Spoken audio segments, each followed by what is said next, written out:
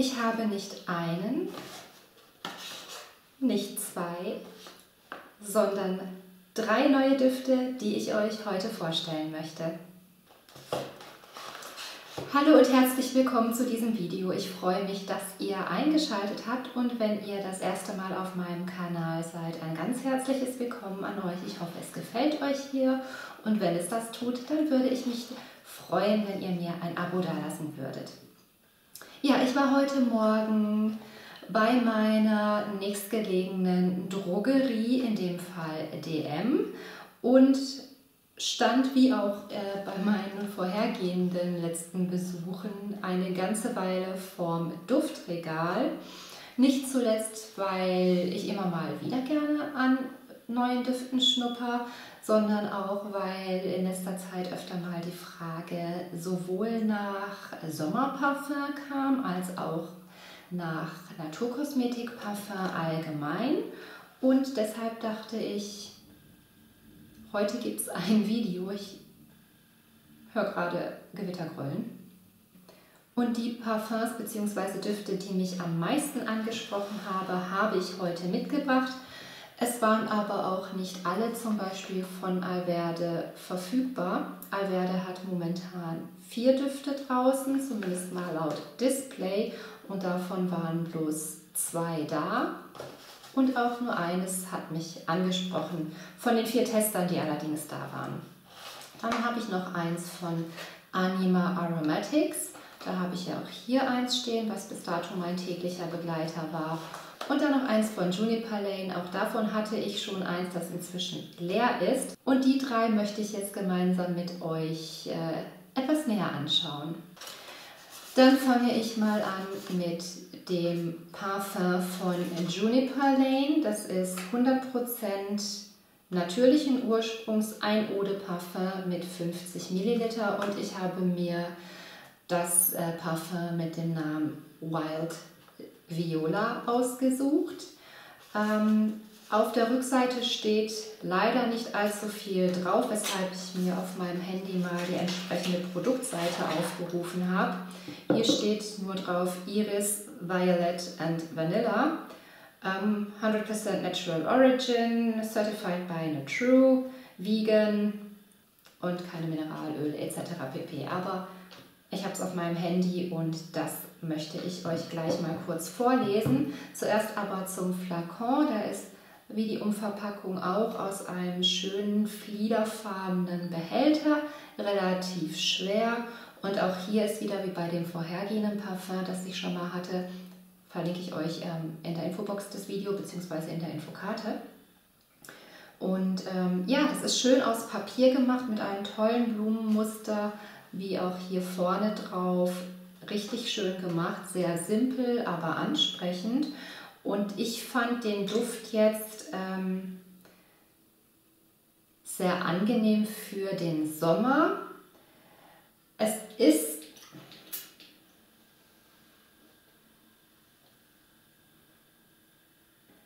Dieser Duft ist recht ähm, pudrig und süß, aber floral, also mit Sicherheit nicht ähm, jedermanns Liebling. Ich muss mal schauen, wie der sich bei mir quasi mit meiner Körperchemie zusammen entwickelt. Aber so rein vom Testen her fand ich den jetzt sehr angenehm. Und dann lese ich euch mal vor, was dazu auf der Seite steht. Das natürliche Eau de Parfum Juniper Lane Wild Viola verspricht pure Romantik. Ein verträumtes Bouquet pudrig-floraler Noten hüllt in eine zart in eine zärtliche Umarmung sanfter Blüten und schmeichelt der verträumt romantischen Seele. Also war ich da ja schon mal gar nicht so verkehrt. Liebliche Veilchenblüten schweben mit cremig sanfter Vanille auf Wolke 7. Das Duett wird begleitet von einer floralen Symphonie aus Heliotrop und Iris, köstlicher Tonkabohne und munteren Akzenten der Ilang-Ilang und Orangenblüte. Ein florales Ensemble zum Dahinschmelzen. Tonkabohne ist sowieso einer meiner Lieblingsdüfte und auch Vanille mag ich sehr, sehr gerne. Also ist es kein Wunder, dass mich das angesprochen hat. Und hier steht dann nochmal die Kopf-, Herz- und Basisnote. Kopfnote ist Ilang Ilang, Sakura, Orangenblüte und Bergamotte. die Herznote Veilchen, Iris, Heliotrop und Maiglöckchen und Basisnote ist Tonkabohne, Vanille und Siambenzoin. Ja, ein, wie ich finde, angenehmer Duft. Wie gesagt, ich muss jetzt mal schauen, wie das mit meiner Körperchemie funktioniert, aber der Duft an sich gefällt mir wirklich gut. Und wenn sich das Licht ein bisschen äh, während des Videos ändert, dann liegt es daran, dass im Hintergrund gerade ein Gewitter aufzieht. Das nächste Parfum ist von Anima Aromatics. Ähm, ich bleibe bei dem Farbschema. Es ist auch ein schöner ähm, ja, Flieder-Veilchenton, sehr schön gemacht. Und die Anima Aromatics Parfums sind ja sogenannte Mood-Parfums, die entsprechende Sinneszellen oder die Sinneszellen ansprechen sollen und dann entsprechende Emotionen bei der Trägerin auslösen sollen. Also schaut euch das mal an, finde ich sehr interessant, dieses Konzept. Und ich habe jetzt äh, Relaxing, Balancing, Harmonic, passt ja auch zu mir. Und die Duftrichtung oder das, äh, der Name dieses Parfums ist Bright Soul. Hier steht es nur auf Englisch drauf, deshalb lese ich euch auch hier kurz vor, was dazu auf der Produktseite steht. Ich glaube, der Text ist etwas länger. Anima Aromatics Bright Soul berührt die Seele seiner Trägerin. Mit seinen ätherischen Ölen aus Lavendel, Patchouli und Ilang Ilang versprüht der Duft Entspannung und Wohlbefinden. Das inspirierende Design in zart mattiertem Flieder und hochwertigen Goldakzenten spiegelt das Konzept und die Energie des Dufts wider und trifft damit den Puls der Zeit. Anima Aromatics Bright Soul nimmt seine Trägerin mit auf eine Reise zu ihrer inneren Balance und beschert ihr damit Momente der Ruhe, Zufriedenheit und Ausgeglichenheit.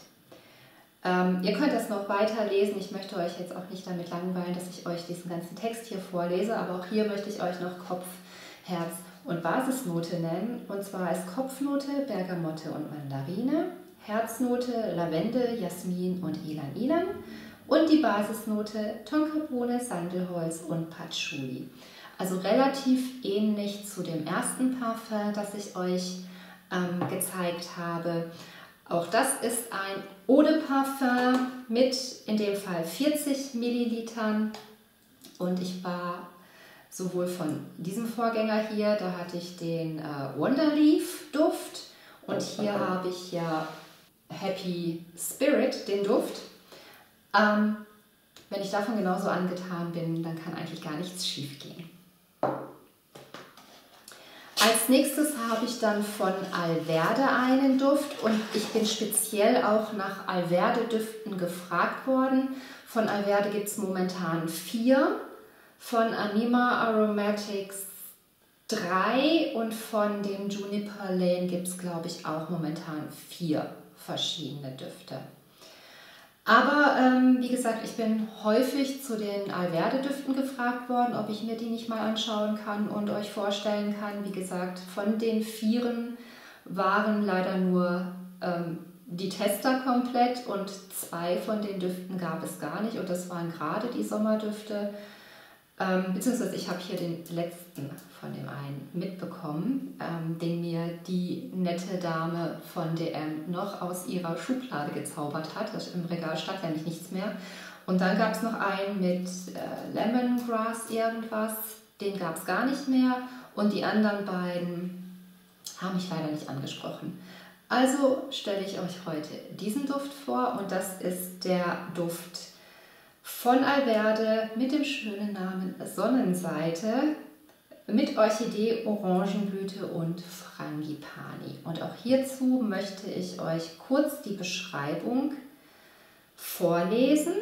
So, und zwar das Eau de Parfum Sonnenseite von Alverde Naturduft verzaubert die Sinne mit ihrer Komposition aus würzigen Noten von Ingwer und rosa Pfeffer und zarten floralen Aromen von Orangenblüte, exotischer Orchidee und sinnlicher Frangipani. Ähm, die Duftfamilie ist blumig, holzig, orientalisch, würzig. Also hier sind jetzt nicht so detaillierte Angaben wie bei den anderen beiden Parfums. Aber dieser Duft ist auf jeden Fall derjenige, der am sommerlichsten ist. Also der, dieses Sommerfeeling, diese frische Leichtigkeit im wahrsten Sinne des Wortes versprüht. Und deshalb habe ich den mitgenommen, ähm, weil ich denke, dass der auch an recht heißen Tagen gut getragen werden kann, wohingegen ich diese beiden eher an etwas kühleren Sommertagen oder abends bevorzugen würde. Und das, ähm, denke ich mal, wird sich auch als so Day by Day, Tag über, den Tag über getragenes Parfum rauskristallisieren. Also der hat mir wirklich gut gefallen. Hier sind enthalten 50 Milliliter und ich schreibe euch sowohl die Namen als auch die Preise unten in die Infobox, damit ihr euch das mal anschauen könnt. Und ähm, ja, da ich heute noch kein Parfum trage, werde ich jetzt auch mal mit diesem anfangen.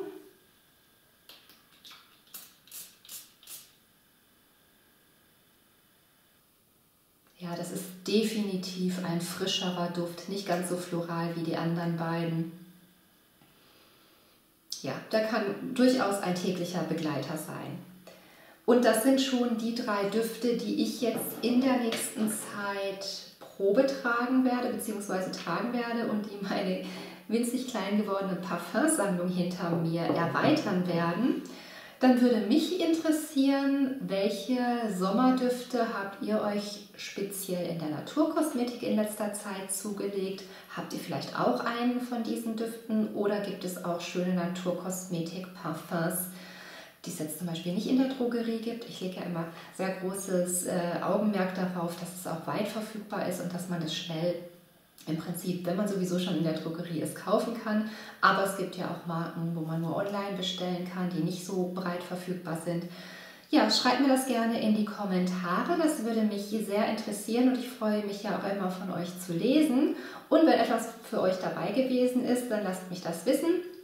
Und ähm, ja, dann bedanke ich mich fürs Zuschauen und würde mich freuen, wenn wir uns auch in meinem nächsten Video sehen. Vergesst nicht mehr ein Abo dazulassen, wenn ihr neu seid und gerne mehr von mir sehen möchtet. Und dann könnt ihr auch gleich noch die Glocke aktivieren, dann werdet ihr nämlich immer über neue Videos von mir informiert. In diesem Sinne, bis zum nächsten Video. Ich wünsche euch alles Gute und bleibt gesund. Tschüss!